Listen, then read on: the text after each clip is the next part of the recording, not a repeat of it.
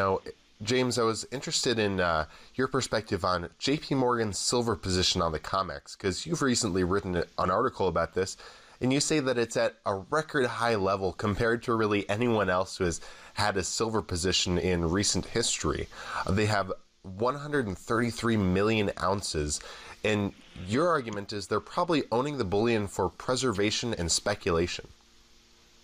Yeah, that's correct. I mean, I, I, just finished writing an article and got published on ValueWalk.com today, and it is pertaining to you know the largest modern day silver positions ever held that you know you can find based on fact and figures. And uh, if you go back to the 1970s, 1980 bull run, obviously there's that scapegoating of the Hunt brothers saying that they cornered the uh, silver market uh, when they had about 100 billion ounces of silver uh, in physical form versus another over 100 million ounces of derivative form silver that was traded on the COMEX.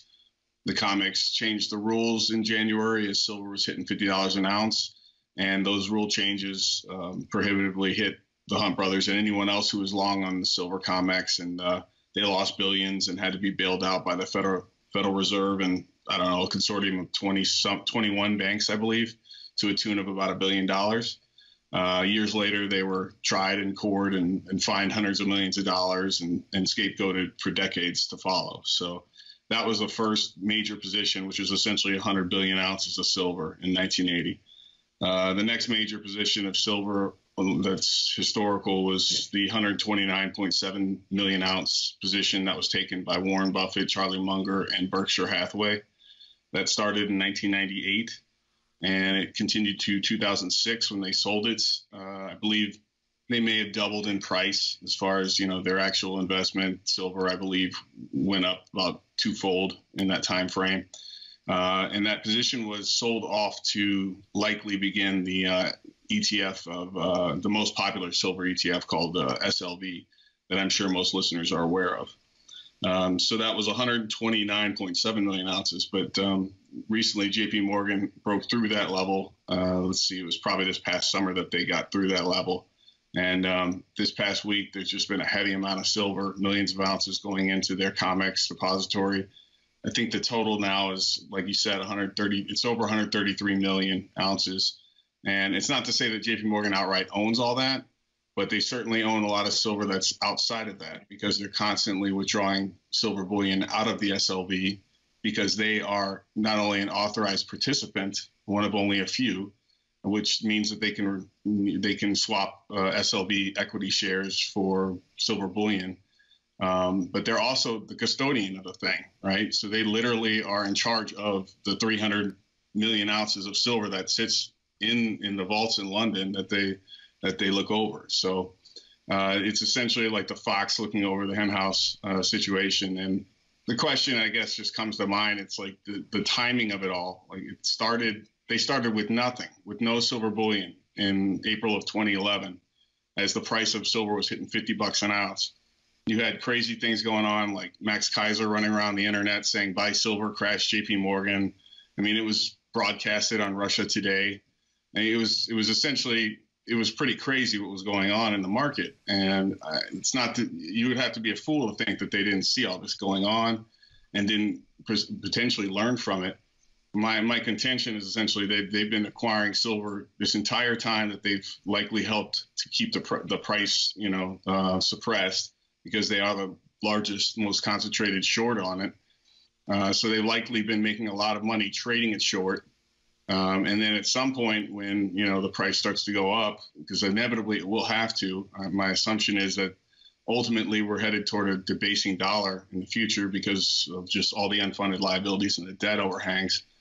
So essentially, J.P. Morgan's getting both. They're getting they're getting to make money on the down uh, over these last seven years, and in the future, when when we start having revaluations of commodities, they will likely make uh, a lot of money in the future based on their silver position and likely as well, it's it's it's also it's also I think an attempt to preserve themselves because they are you know they probably flagrantly overtraded their entire value, and if they have a bad bet here or there, uh, they'll at least have some physical bullion to hopefully make up for some of those lost bets. That's a really great now, summary. Eric, if you could jump in here, why do you think that silver? Uh, why do you think that J.P. Morgan has such a large silver position? Yeah, that that's a great summary, and um, clearly, you know, the administering the SLV and the requirements associated with that uh, something that enables J.P. Morgan to see a huge amount of the marketplace in silver lit up, seeing all of the players, understanding the book that comes for SLV, understanding what's going on in both the LBMA and the COMEX uh, as a major bullion dealer and excuse me, not bullion deal, a bullion bank, you know, as one of the primary bullion banks. We know that silver is massively manipulated. We can see the very big picture when it comes to, for example, what goes on with the COT wash, rinse, repeat cycle that we have reported on ad nauseum for years at Silver Doctors. It's not in question anymore. Uh, we have the regulators busting Deutsche Bank and other banks, bullion banks, for being involved with um, spoofing orders and manipulating the markets that way. Uh, the revelations that came out of that court case didn't go deep enough. As I warned, literally on the very day that JP, uh, excuse me, the Deutsche Bank was was being reported for being under investigation, we Doc and I did a show on that, warning that that wasn't going to go very far, and it hasn't. What J.P. Morgan has been able to do is hide how they manage the silver market, and part of how they do this is not something that I can prove but when you own major or control major portions of a market, you're able to understand that market. And controlling the warehouse inventory for SLV combined with this 100 plus million ounce position, you know, they, they have a lot of power and they move their inventory around within a short period window that escapes reporting requirements. And this is how they manage the market. I a while back, Blythe Masters was on CNBC when she was still working for J.P. Morgan as their commodities head honcho, and she was asked point blank, "What's the story with J.P. Morgan's rising and large inventory position?" And she just poo-pooed it as saying, "Well, we own a lot of silver for clients." Clearly, that's not what only is motivating J.P. Morgan. Uh, I, I agree with the thesis about them seeking to have a hedge against the downside market action that's coming, and that's part of what they're doing. But I think their primary motivation, ever since Bear Stearns and their role went up in smoke when Bear Stearns died, uh, and J.P. Morgan rose to take on a much bigger position within the silver market, I, I think they just have become the primary bullion steward of the manipulation of silver, and it's at some point this kind of information will will seep out and people will be able to prove it i hope. Yeah the difficulty in all this is um, obviously this is a lot of speculation and the, the most difficult thing is to trade on that and to hope that it's correct because inevitably when the answer is right if it is right um, it'll be too late probably then to, to act you know you're talking about a situation where where prices are going up, you know, vertically. And then you're talking about paying through the eye for premiums in any silver bullion you can acquire at the time, right? So that's that's the, the ultimate difficulty of the whole situation. Right. And right now, if the manipulation is something that's really going on, really the low prices are really a gift right now, right? No doubt. If you're someone who believes in uh, silver and you want to go long silver and you have a long-term time frame, you know, something to the 2020s, I, I believe it would make total sense. Not just silver, but also gold too, or platinum and palladium potentially. But I mean, it's it's proven if you back test um, stock stocks and equities um, in the United States versus um, bonds and versus bullion.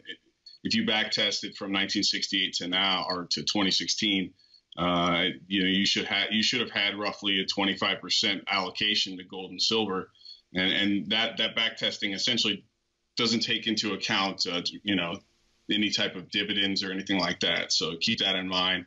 The study doesn't take into account real estate or anything like that. It just the study that I'm citing is simply bonds versus equities versus bullion, and it, it in the long term, especially under a fiat currency regime, it totally makes sense to have an allocation of bullion um, at all times. All the more so after such a long period of uh, depressed surprise prices and, and trading. I mean, we're we're living in a world where the cost of production and the decline in production going forward is going to guarantee higher prices, regardless of what the cartel does. They're going to have to back off. They, they otherwise they will risk breaking the system of manipulation that they control. Physical will make that happen. Now, moving on here to this week's action in the precious metal markets, we saw gold go to about 1350, which I know is a very key level for gold. What is your perspective, Eric, on the technical analysis side of what we saw in the gold and silver markets this week? Well, frankly, the technical stuff really isn't all that interesting um, in this particular shorter window, other than the fact that we bounced on areas that didn't, you know, surprise all that much. Uh, uh, silver not breaching 16, gold, you know, holding roughly 13 and change, the dollar finding some support at 88. Uh, all of these, uh, you know, the bond market um, having reactions when the 10 year was threatening to take out, um, or excuse me, the 30 year threatening to take out 3%, and the shift in expectations on a going forward basis and what all that means. All of these kind of things confluence in the last two weeks to, in my mind, paint a really interesting picture about where people's sentiment and psychology have changed when it comes to a number of markets and how that relates to gold and silver is key. Um, we've lived in a world where since the 2008 crash, the bond vigilantes have gone on vacation uh, on the assumption that central bankers were dead serious on saving the system, and they were. It was the right call. Volatility went to almost nothing. Uh, we had 500 year lows in interest rates, and everything just was skewed to the point of ridiculousness when it came to how far people were on one side of the boat when it comes to psychology. What was interesting in the last two weeks when we saw this market correction is that we've been seeing the dollar go down while interest rates were going up. Generally speaking, in economics, people make the assumption that interest rates going up are going to attract more interest in bond buyers because bond buyers would say if they borrow Japanese yen to purchase U.S. treasuries, uh, translating that into dollars, they would make even more profit if the dollar was going up over a two month holding period. Hot money moves. It doesn't care about 10, 30 year, whatever duration holding periods when it comes to bonds. It's just looking for hot moves that can capture a couple percentage moves uh, in short term profit what we saw in the last two weeks is fascinating. We saw the dollar falling, interest rates going up, and stocks going down. It's a complete flight to safety and, and abdication of even the idea that you know the stock market would be going up in the future on account of stronger economics and higher dollar bringing more interest into U.S. dollar denominated assets. We're also seeing, you know, a couple weeks back, the Chinese let out a story that could conceivably be a trial balloon when it came to how they're managing their um, accounts for FX and their uh, foreign exchange reserves in the U.S. dollar, and how they talked about possibly not being interested. There was a Bloomberg report in particular that came out talking about how China was interested in lessening its holdings of U.S. Treasuries. It really does look like there's a reawakening of the bond vigilante community and a lot more skepticism when it comes to the long term trend of U.S. Treasuries and the general paradigm when it comes to interest rates. Interest rates going up with a dollar going down is an interesting signal.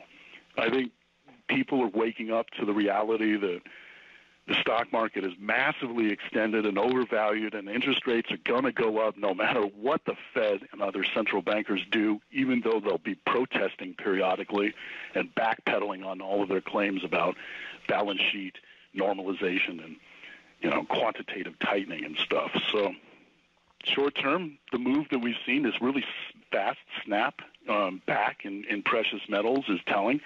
Uh, I think we did see a tiny bit of liquidity drawdown. You know, when margins calls come in, it wasn't just 100% manipulation, although that was definitely there. um, even Bitcoin's decline and the cryptocurrency's decline was partially linked to people needing to rush to get some liquidity. Uh, but now, as the dust has settled, the dollar right now is up. Uh, if I'm looking at the live real-time quote for the March 18th dollar uh, DXY futures, and that's up 0.5967 percent right now. Um, so you know the the markets went through a two-year, excuse me, two two-week freakout, and I think that the sentiment is now finally shifted around, and people are a lot more skeptical, and that's a good thing. But we'll probably stabilize in the general equity market. The central bankers put in a lot of liquidity, and we'll see footsteps of that as time goes on in the next week or so. We'll be able to see more of that kind of data. And we'll go back to sleep for a couple of months, and, and maybe equities will go up, and we'll see the S&P 500 try to take out 3,000. Um, I don't think that this was the, the the it was just a shot across the bow when it came to people waking up to the realization that there's real risk in the markets, and this volatility trade in particular blowing up is what woke a lot of people up. That combined with what's going on on the interest rate paradigm. So long term, this year and further out, I, I think we're going to see a lot higher prices in precious metals as markets revert to the mean. Interest rates going up, stock market going down, metals going up. Yeah, and just real quick on to follow up on the DXY on the U.S. dollar index. If you look technically at the chart, um, as far as you know how it's performed, especially in the last major bear market from 2002 down to 2005, um, it looks like this one is essentially the same type of angle and, and you know calling for something like a U.S. dollar low hitting around 2020. So I, it definitely calls for higher bullion prices in the next few years, just based on the fact that the dollar's going to be losing value versus other currencies, most likely. Definitely. And what is your perspective, James, on the uh, bonds, the interest rate rising, but then also the dollar falling? And it, it doesn't normally work that way, as Eric was saying. Yeah, I, it um, for for a while there, I even now to this day, I still feel like at some point, rising interest rates are going to cause a major problem. And at that point, uh, you know, the Federal Reserve, um, that's my hunch, is that they, this is the reason why they've been trying to raise rates and talking about raising it four times this year. They need to have some type of uh, clearance for when the market does finally go into recession.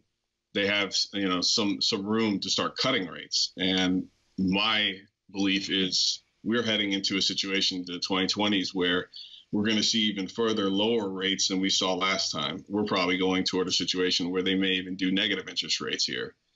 Um, it's going to be a kind of a twilight zone, negative interest rate world where we're going to have essentially rates lower than last, and we're going to have a stagflation economy where they lie about what's going on with uh, with inflation, and they kind of they keep rigging the, the inflation statistics, and essentially we have a huge gap between uh, real rates and uh, what's going on in, in the real world as far as prices.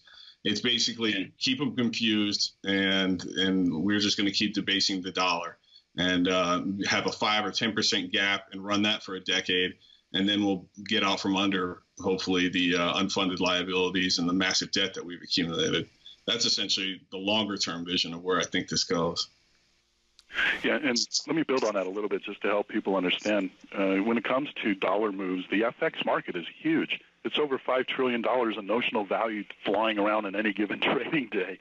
What happens is people will go to Japan, borrow yen, buy U.S. dollars to purchase U.S. dollar denominated assets. And what we've seen in the last two weeks has been a shift in some of that. And it tells us about where global expectations are when it comes to the United, to the United States equity and bond markets. That was the telling signal from the last two weeks. It's the take home message that the market was sending.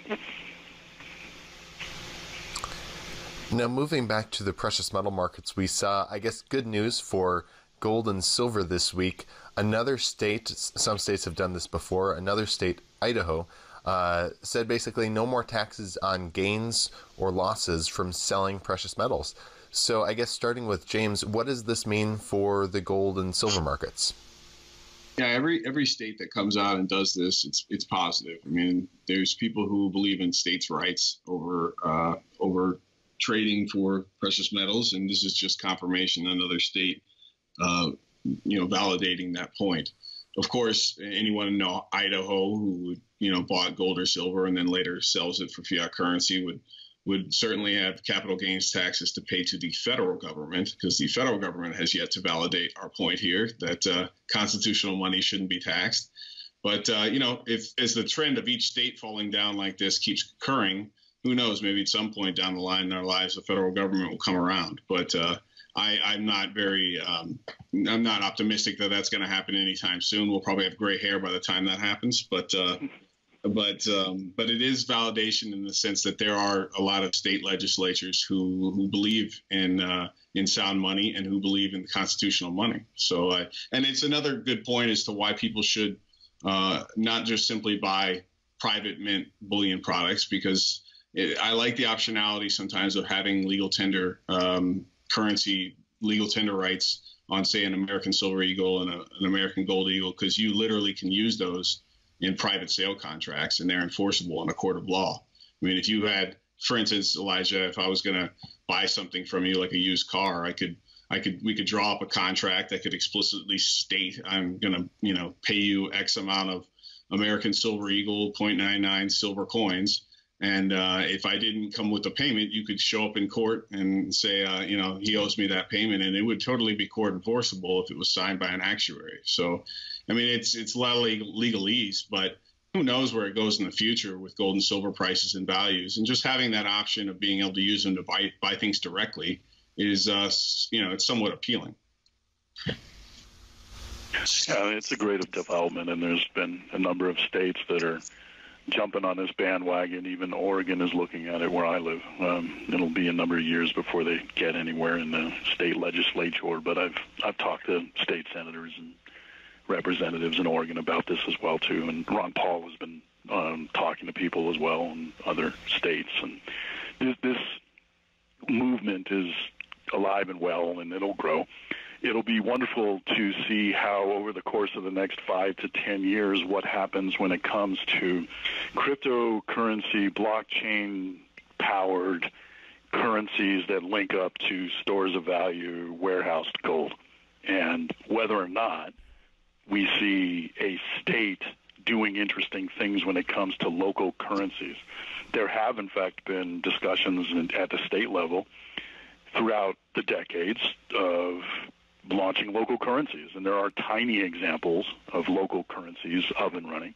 Who knows? Maybe we might actually see some innovation after some kind of a financial crash. It would be wonderful to see these kind of things, and I'm openly speaking about this in part just to cast this out as broadcast on the waters and for people to think about it because I'd like to see politicians and activists and people within the cryptocurrency community, et cetera, think in these terms and, and begin to see some kind of political pressure percolate over the course of the next decade to see this kind of evolution. If we see that, that'll be a wonderful thing. And one point on that, it always goes back toward legal tender laws, right? And the state yeah wants the right always. It's their prerogative. They, they feel like it's their born prerogative to be able to issue the currency and mandate everyone to pay them in taxes with that currency. And any competing currency has to pay capital gains, right?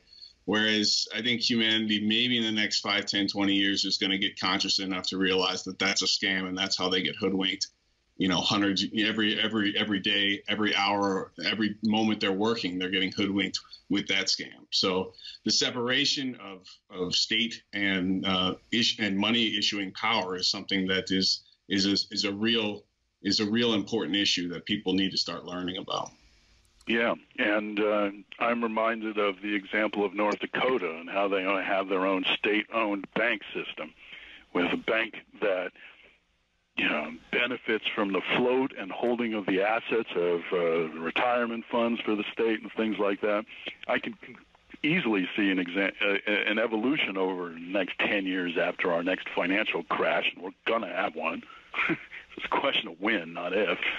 That shakes things up. That bank in North Dakota was born after the Great Depression in response to farmers losing their farms and the depressionary impact of what happened to our monetary system. Things change massively when we have huge crashes like what is coming, and the confluence of technological developments and what's going on when it comes to perhaps gold becoming part of the currency system in our future in response to you know the regulators and policymakers scrambling to try to fix the messes that they always make might be the silver lining, forgive the pun, for what may be in our future when it comes to these little incremental moves at a state level. This this news from Idaho fits into that overall trend when it comes to individual state sovereign entities. you know, so-called constitutional system, as watered down as it is, and how they relate to the behemoth in Washington and its money-making or, or currency-making, debt-creating power. All right. Well, Eric Dubin and James Anderson, Anderson, thank you so much for joining us today. Before we let you go, did you want to share with the viewers any last thoughts you had? And James, I know that you have a um, new uh, guide to gold and silver that you have uh, published for any Silver Doctors viewers um, on the website. Can you tell us about that? Yeah, it, uh, we just created a, it's an over 200 page PDF on uh, you know the 21st century gold rush, and it's chock full of practical insights and information that's uh, you know pretty up to date. I, I, I just completed it, uh, I think in January of this year. So uh, a lot of the content in there is fresh and up to date, and it has real practical things that you can use in the real world, like you know in, intelligent ways to not just buy gold and silver. To vet any dealer that you're potentially going to do business with, especially online dealers, how you can find organic reviews versus versus uh, the fake uh, rigged review sites that a lot of the companies use, uh, as well as how to ship and sell gold and silver intelligently. So the URL to find the book is sdbullion.com forward slash book. And that's how you can find it. And it's totally free. It's just an email address to get.